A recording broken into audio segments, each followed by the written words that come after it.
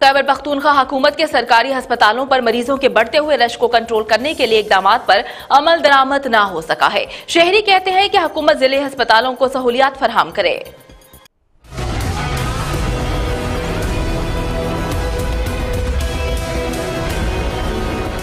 सूबे के दीगर इजला के अस्पतालों में रेफरल निज़ाम के खात्मे के लिए अहकाम पर ना तो अमल हुआ है और ना ही कोई तब्दीली आ सकी है। सूबाई महकमे सेहत ने पेशावर के अस्पतालों पर रश कम करने समेत इजला के अस्पतालों को सहूलियात मुहैया करने का फैसला किया था, जिसके तहत मुख्तलिफ़ इजला के अस्पतालों में सहूलियात दस्तियाब होने के बावजूद पेशावर का रुख करने वाले मरीजों को वापस मुतल इजला रेफर किया जाना था, लेकिन ताहाल अमली इकदाम न उठाए जा सके। शहरी कहते हैं की हुकूमत इजला के अस्पतालों को जदीद सहूलियात मुहैया करे। डायरेक्ट उधर लिख देता है कि Peshawar Leisure or Leisure or River to be shower मसला इतना नहीं है उधर हॉस्पिटल में बहुत है लेकिन वो करते नहीं है। इधर फिर आते बेड का भी मसला बनता है डॉक्टर का भी बनता है। हमारा एक हफ़्ते से भी ज़्यादा हो गया बनु में इतना नहीं है इतने बड़े बड़े अस्पताल है लेकिन वहाँ पे इलाज कोई नहीं है।